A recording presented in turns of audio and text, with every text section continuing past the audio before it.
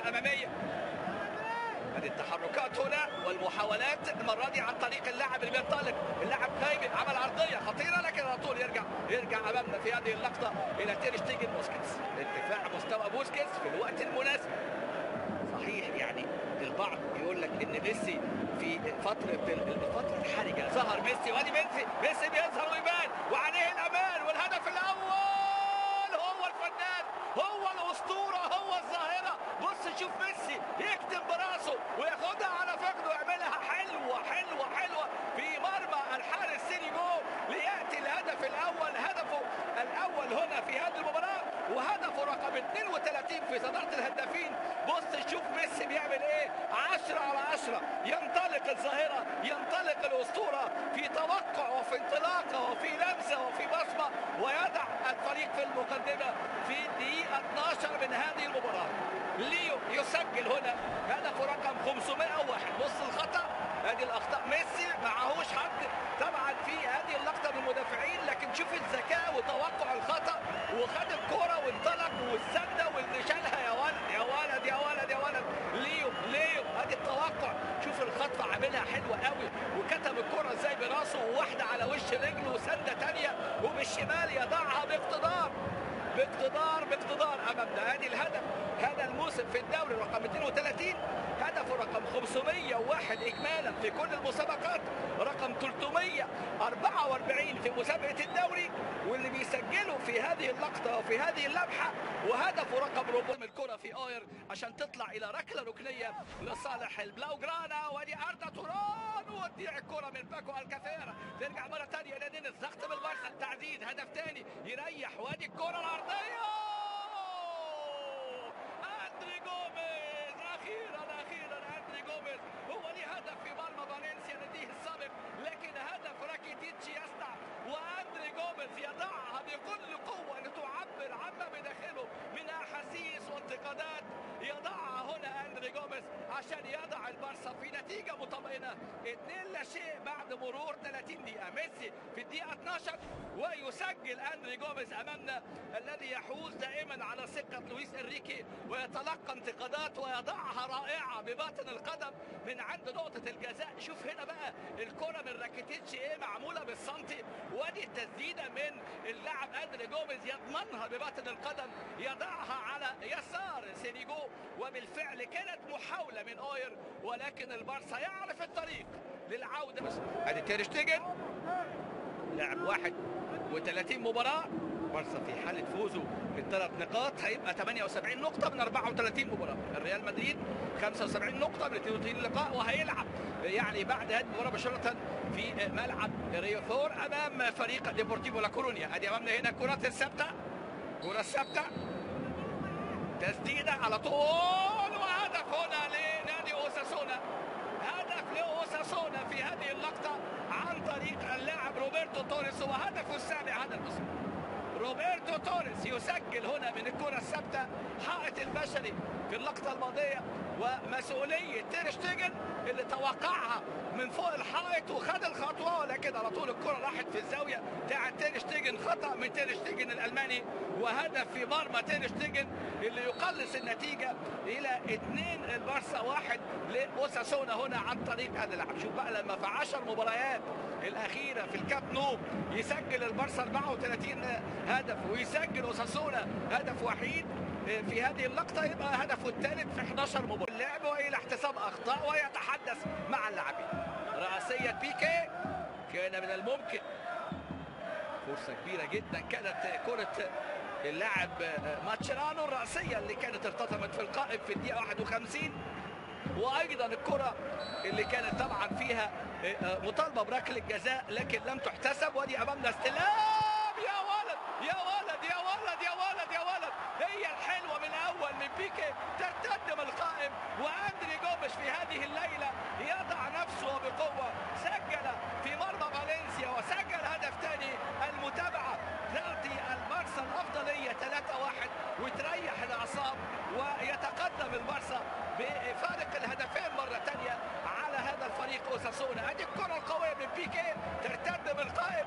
واستيوانا على الاستلام مهارة عالية قوي من جانب اللاعب بيكي وبالقدم اليسرى ترتدم القائم جوميش البرتغالي النهارده في قمة التألق وبنفس الطريقة بباطن القدم لكن المرة دي من رده فعل عاليه عرضية راكيتيتش في الهدف الثاني وقائم وكرة بيكي ترتد إلى أندري جوميش اللي بيضع البارسا في تقدم وتقدم مريح 3 1 هدف صالح البارسا هنا في ملعب اللقاء.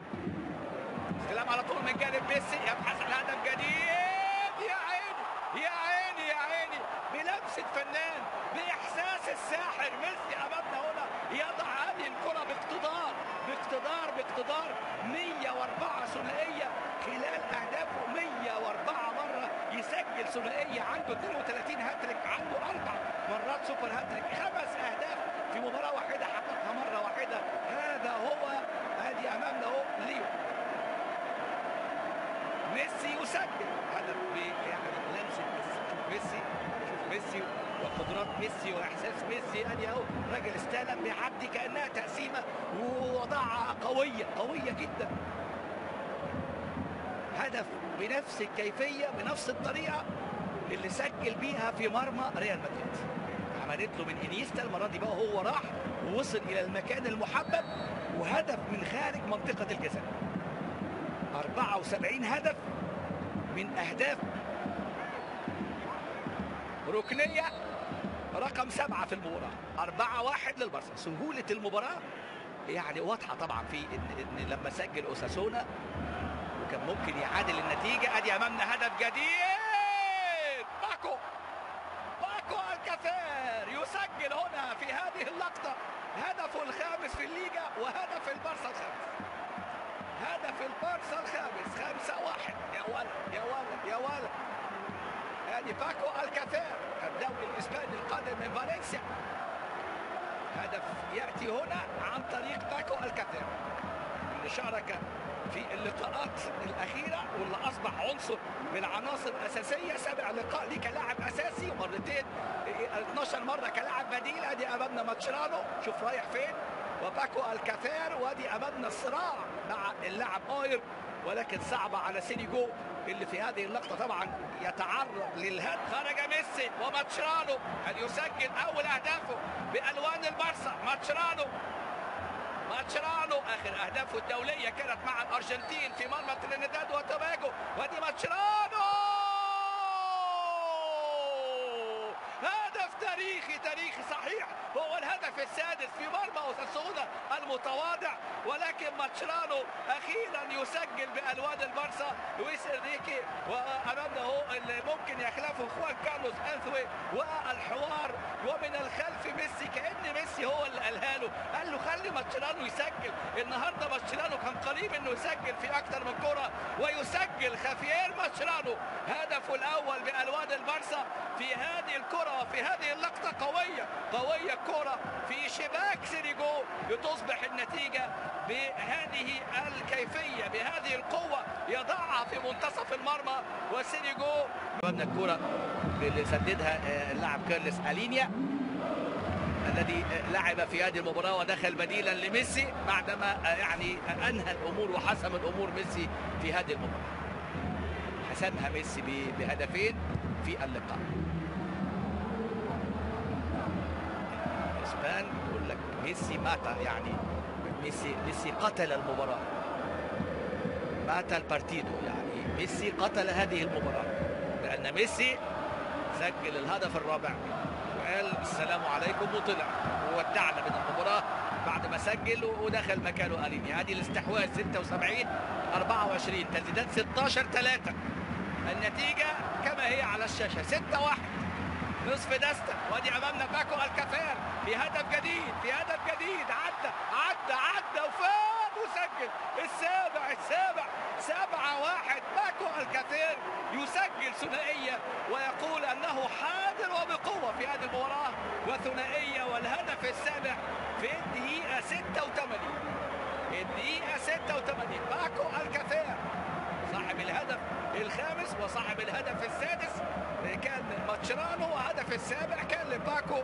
وأمامنا سيريجو النهارده إيه؟ سيريجو يدخل في مرماه سبع أهداف في هذه الليلة. أكبر فوز 8 لا شيء. كان لصالح البارسا. بص شوف دينيس سواريز. تمريرة ودفاع. اوساسونا طبعا يعني في هذه اللقطة يدخل في مرماهم 82 هدف. والبارسا بيسجل كده 101 هدف بالسباعيه النهارده. 7 1 في هذه المباراة. صحيح كان في 8 لا شيء.